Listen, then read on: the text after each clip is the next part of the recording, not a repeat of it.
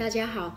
如果你有一直关注我的频道的话，我相信你有看过我搭飞机来澳洲的那一天那条影片。我说我的行李超重了七公斤，然后被罚了一张机票的钱。我到底带了什么东西来澳洲，害我被罚了那么贵？我现在跳选出来的是五样最奇，在我行李里面最奇怪的东西。第一样。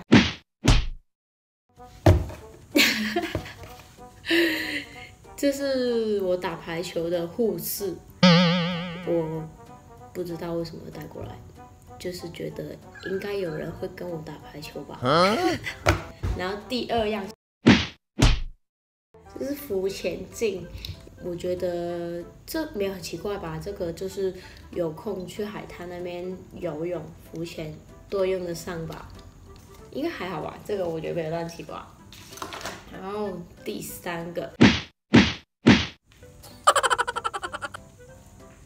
救生衣啊，因为我觉得我们会放假有空会去澳洲附近游泳啊，或者是海边那边浮潜啊之类的，所以我就带着这个，以防万一。因为我我是会游泳，可是我是不会浮在水面上，所以有这个在我身上，我妈就会放心了。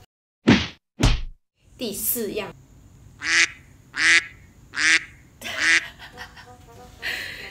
这是我高中的时候在家里，在厕所粘在那个玻璃上面拿来放牙刷的一个一个什么牙刷具哦，就是我的牙刷可以这样这样这样夹在这里。然后我大学也有带过去台湾，然后现在我来澳洲了，当然现在要跟我来啦。Oh no！现在第五样，这这个不是我的，可是我觉得也蛮奇怪的，女朋友的。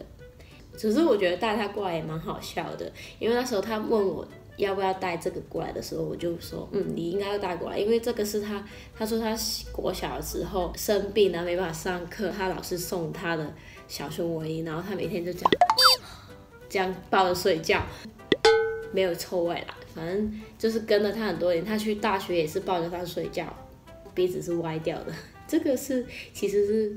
盗版的小熊维尼，可是他很喜欢这个，我觉得很好笑。我忘记他哪里啊，他好像这里是破掉的，哈他还补过，所以我觉得最奇怪应该是这个吧。那这个影片就是分享我带了什么奇怪的东西过来澳洲打工度假。好，如果喜欢我的影片的话，订阅我的频道，我之后可能会分享一下比较没有那么奇怪的行李。拜拜。